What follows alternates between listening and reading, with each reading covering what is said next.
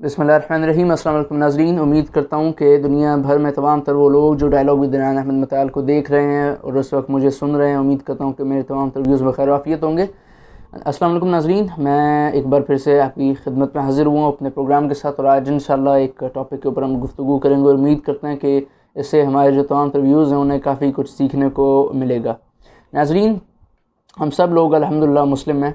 अल्हम्दुलिल्लाह हम लोग मुसलमान हमें फ़ख्र है इस बात पे मगर पूरी दुनिया में बल्कि पूरी दुनिया कहना गलत बात होगा दुनिया का एक पर्टिकुलर जो हिस्सा है अमेरिका कनाडा और ये जो चंद ममालिक हैं यूरोप के ये आ, इन ममालिक में आ, बहुत ज़्यादा इस्लामोफोबी है मुसलमानों के ख़िलाफ़ बहुत ज़्यादा नफ़रत है और समझा जाता है इन ममालिक में जो मुसलमान हैं वो दहशत गर्द हैं और बड़े शिद्दत पसंद बड़े एक्सट्रीमिस्ट किस्म के लोग हैं बड़े कंजर्वेटिव लोग हैं ये जो मुसलमान है, एक इनका जो कल्चर है और जो इनका मज़हब बहुत ज़्यादा स्ट्रिक्ट है, बड़ा ये लोग अगर कहेंगे ये लोग पुराने ख्याल के, पुराने दौर के लोग हैं तो वो ये समझते हैं मुसलमानों के बारे में। तो हम तमाम लोग पाकिस्तानी और हमारे एक यूट्यूबर भाई हैं कैनेडा के अंदर, शाम इदरीस, कई आप लोगों में से हमारे जो व्यूज़ हैं, वो उन्हें देखते भी होंगे। बहुत ज़बरदस्त यूट्यूबर हैं अपने ब्लॉग्स की वजह से बहुत मशहूर हैं। तो वो परसों एक रेस्टोरेंट में गए, वहाँ के एक लोकल कैफ़े में गए, अपने फैमिली मेंबर्स के साथ, अपने चंद दोस्तों के साथ, उन्होंने वहाँ पर चंद चीज़ें ऑर्डर की कि हमें ये चीज़ें चाहिए। तो वहाँ पे जो उनकी, जो उनका ऑर्डर लिख रही थी, वो एक खातून थी, एक अमेरिकन कनेडियन खातून थी। तो उन्होंने वहाँ पर कहा कि हम आप जैसे लोगों को कोई चीज़ नहीं देते, क्योंकि उनकी जो फैमिली मेंबर्स थी, जो ख़वातीन थी, वो उन्होंने हिजाब किया हुआ था, अपना चेहरा छुपाया हुआ था।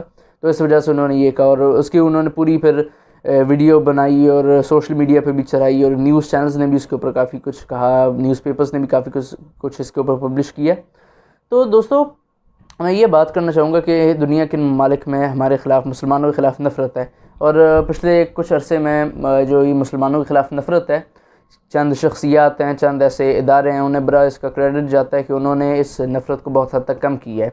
मुसलमानों के ख़िलाफ़ जो नफ़रत थी, जो उनके बारे में जो इमेज था वेस्टर्न वर्ल्ड में, वो बहुत हद तक अलहमदिल्ला बेहतर हुआ है। मगर अभी भी मज़ीद बेहतरी की गुंजाइश है, अभी भी मज़ीद बेहतरी चाहिए। अभी भी कई ऐसे लोग हैं जो समझते हैं कि हम मुसलमान दहशत गर्द हैं। तो ये ज़िम्मेदारी है नाजरीन हम लोगों की, हम जो मुस्लिम्स हैं। हम लोग अगर किसी यूरोपियन कंट्री में और वहाँ पे डिस्क्रिमिनेशन हो रही है मुसलमानों के ख़िलाफ़ तो हम बजाय उन्हें कोई दलील दे, उनके साथ कोई बात करें, हम उनके साथ लड़ना शुरू हो जाएँगे।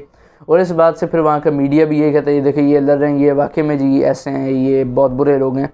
तो ये हम लोगों को भी सोचना चाहिए कि इस किस्म की कोई हरकत हम लोग ना करें और हम दलीलों के साथ, दलाइल के साथ उन्हें ये बात बताएँ कि हमारा जो रिलीजन है, हम मुसलमान हमारा जो मज़हब इस्लाम है, वो हमें दहशत गर्दी की नहीं, बल्कि हमें अमन की हिदायत देता है, हमें अमन के बारे में बताता है, हमें नफ़रत नहीं, हमें मोहब्बत करना सिखाता है। ये हम लोगों का काम है कि हम लोग मुसलमानों के इमेज को बेहतर करें। ख़ास तौर पे वो लोग जो कैनेडा में यूएस में मौजूद हैं या जो इन चंद यूरोपियन ममालिक के अंदर मौजूद हैं यूरोपियन यूनियन के अंदर मौजूद हैं, ये उनका काम है कि वो मुसलमानों का इमेज बेहतर करें। हमारे जो मुसलमान ममालिक हैं, उनकी गवर्नमेंट्स ने और जो मजहबी शख्सियात उनका बड़ा इसमें क्रेडिट है कि उन्होंने बड़ी हद तक कोशिश की है, बहुत मेहनत की है, काफ़ी साल उन्होंने स्ट्रगल किया और उसके बाद मुसलमानों की जो डिस्क्रिमिनेशन मुसलमानों के खिलाफ जो उनका इमेज है, वो बेहतर हुआ है। मगर अभी भी मज़ीद हम लोगों को ही अपना इमेज बेहतर करना है। तो ये आज का हमारा मैसेज एक था, हमारे इस डायलॉग का कि हम लोगों को अपना इमेज खुद बेहतर करना पड़ेगा अच्छा रवैया रखना पड़ेगा, जो हमें इस्लाम ने तालीमत दी हैं। हमें इस्लाम ने यह तो नहीं कहा कि अगर एक शख्स गैर गैर मुसलमान है तो आप उसे कत्ल कर दो या उसके साथ लड़ना शुरू कर दो। हमें तो बल्कि कहा गया, उसके साथ मोहब्बत करो, उसके साथ दोस्ती रखो, उसके साथ उसके साथ अच्छे ताल्लुक रखो। ताकि वो मुतासर हो आपसे और वो आपके दीन के बारे में मज़ीद जाने। हमें इन प्रिंसिपल्स के ऊपर जो हमारे इस्लाम का असल कॉन्सेप्ट है, जो असल प्रिंसिपल्स हैं, उनके ऊपर अमल करना पड़ेगा। उसके बाद ही जो मुसलमानों की इमेज वो बेहतर होगी वेस्टर्न वर्ल्ड के अंदर। तो यही हमारा आज की छोटी सी डिस्कशन थी। तो इन उम्मीद करते हैं कि आपको काफ़ी कुछ सीखने को मिला होगा। हमारा ये जो चैनल है, हमारी वीडियो को शेयर करें हमारे चैनल को ज़्यादा से ज़्यादा सब्सक्राइब करें। इन नेक्स्ट टाइम आपसे मुलाकात होगी। तब तक के लिए अल्लाह आपका हमी नासिर रहे। अल्लाह हाफ़